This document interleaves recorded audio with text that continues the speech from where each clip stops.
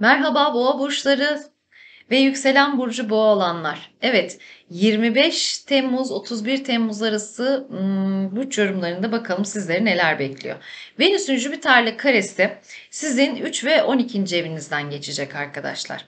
Venüs 3. evdeyken e, kendimizi sevgi, aşk konularıyla alakalı böyle daha ruhsal düşüncemizi, daha böyle romantik şeyleri istediğimizi, Jüpiter'in de yani kadersel bir taraftan da bu e, kendimizi ifade etmek, duygularımızı aşmak konusunda yardımcı olacağı, bazı, bazen zaman zaman da gerileceğimiz bir dönemden geçiyoruz diyebiliriz. Yeni ay ise dördüncü evinizde gerçekleşiyor. Ev aile konuları arasında e, gelip gidiyorsunuz diyebilirim. Tabii Jüpiter'den 12. evden alınan destekle beraber ailenizden aldığınız bir destekle hayatınıza yeni bir e, yön ve şekil veriyor olabilirsiniz. Ailenizin içinde kendi e, kararlarınızı net ve özgür bir şekilde e, isteklerinizi, taleplerinizi e, vurguluyor olabilirsiniz. Yaşımız daha çok küçükse üniversiteyi kazanmış olabiliriz. Belki üniversite ile ilgili tercih yapmak istiyoruzdur. İşte o zaman nereyi tercih yapmalıyım, e, nereye gitmeliyim, yönümü nasıl çizmeliyim bunlarla alakalı aileme e, kararımı bildirmeliyim diyebileceğimiz bir dönemden geçiyoruz diyebilirim. Aslında kader size e, çok güzel bir şekilde yardımcı oluyor. Jüpiter'inizi yani Jüpiter 12. evden e, bu yeni aya çok güzel bir açı atıyor ve ailenizi ikna etmek istiyorsanız tam da o dönemden geçiyorsunuz diyebilirim. Tabii ki e, kavuşum var. Yani Jüpiter pardon Uranüs, Kuzey Ay düğümü ve Mars'ın kavuşumu var Boğa burcunda. E, tabii ki bu biz sizin birinci evinizde olacak arkadaşlar. Hafta sonuna doğru bu enerji çok çok yükseliyor ve gelecek haftayı da içerisine alacak diyebilirim. E, hayat sizden yana. Kuzey Ay düğümü birinci evden geçerken hayatta en şanslı, en bolluk, bereket içerisinde olduğumuz zaman dilimidir arkadaşlar. Üstelik de burada Uranüs, Mars gibi bizim hareketimizi, e, kararlarımızı böyle aktive etmek için kullanabileceğimiz önemli bir e, gökyüzü olayı yaşanıyorsa demek ki buradan en çok nemalanacak, e, fırsatları yakalayacak kişi sizsiniz. Hayatınızda ani beklenmedik yön değişiklikleri yapıyor olabilirsiniz. Doğru kararlar alıyorsunuz. Tabii ki bu birinci ev ve yedinci ev aksına sirayet ediyor Kuzey Ay düğüm ve Güney Ay düğüm etkisinden dolayı. Eğer bekarsanız evlenme kararı alıyor olabilirsiniz arkadaşlar.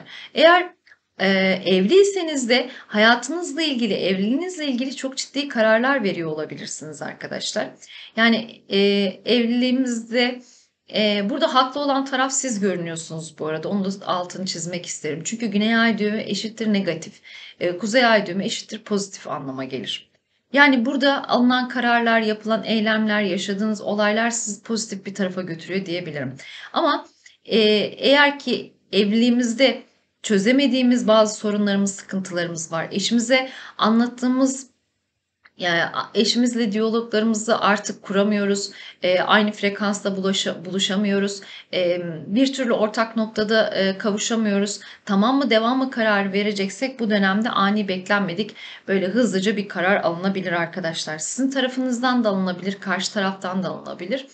Bu durumda e, her ne yaşanırsa yaşansın Kuzey Ay düğümü e, bu olaydan sizin daha hayırlı bir şekilde e, sonuç alacağınızı söylüyor. Yani eğer karşı taraf böyle bir hamlede bulunuyorsa gerçekten sizi kaybettiğini ileriki zamanlarda çok çok pişman olabilir.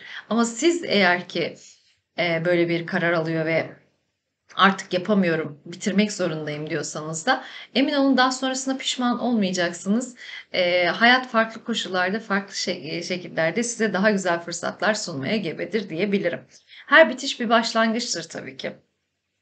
Tabii ki yeni ayın da dördüncü evden geçerken bu olayın da işin içine dahil edecek olursak ev ayırma, evli yani yeni bir eve taşınma, ortak mevcuttaki evimizi ayırma ya da evlenme kararı alarak ortak bir ev tutma gibi bir e, vurguyu talep ediyor olabilir. Siz cesaretli bir şekilde evlenme teklif ediyor olabilirsiniz ya da evlenme teklifi almış olabilirsiniz arkadaşlar. Hayatımızda böyle ikili ilişkilerin biraz daha gündemde olacağı bir zaman diliminden geçiyoruz diyebilirim. Hafta sonuna doğru Ay Başak Burcu'nda ve 5. evde gerçekleşecek. Yani Ay Başak Burcu'na geçecek ve sizin 5. evinizde tabii Başak var.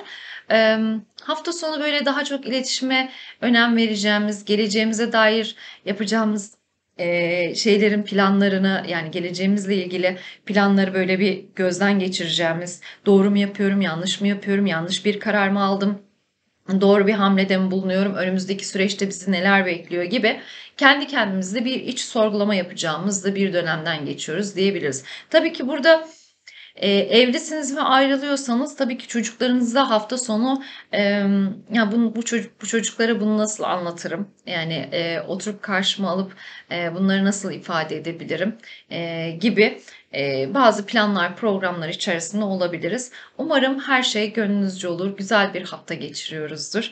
Eee, her şey gönlünüzce olsun diyorum. Hoşça kalın.